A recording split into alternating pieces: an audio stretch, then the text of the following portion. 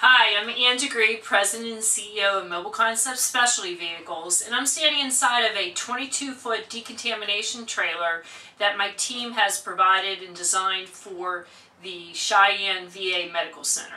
Our decon trailers are designed to process individuals and equipment within minutes of arriving on the scene. The VA Medical Center in Cheyenne, Wyoming purchase this decontamination trailer directly off of our GSA contract. I invite you to check out our website at mobileconcepts.com or give us a call at 1 800 783 0213. Thanks for watching.